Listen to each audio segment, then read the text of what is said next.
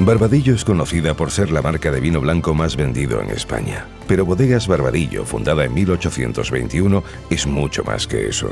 Es una de las 10 empresas familiares más antiguas de España y líder mundial en producción de vinos de Jerez. Además, está galardonada con múltiples premios y reconocimientos, como tener un vino en la lista de los 100 mejores vinos del mundo de Wine Spectator o ser la primera bodega de Jerez en conseguir 100 puntos Parker. A pesar de ello, muchos consumidores desconocen que Barbadillo es mucho más.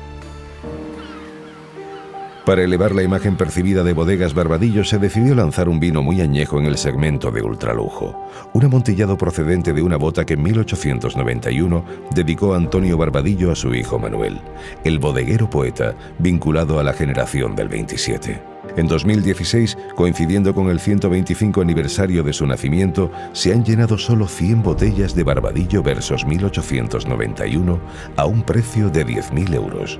Con este lanzamiento de nueva marca teníamos un doble objetivo, conseguir medios ganados y elevar la categoría de la marca Barbadillo a nivel corporativo, ya que solo la bodega con más vinos viejos del marco de Jerez puede sacar al mercado semejante joya enológica.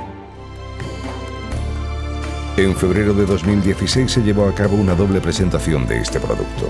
Un acto social con medios y clientes exclusivos en Londres, junto a la Abadía de Westminster.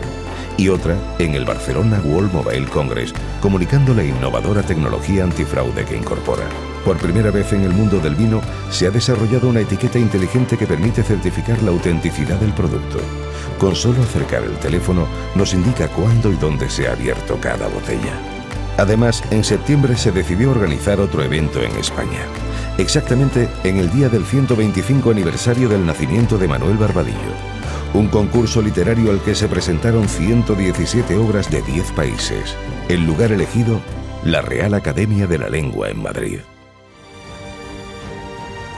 El objetivo de conseguir medios ganados superó todas las expectativas.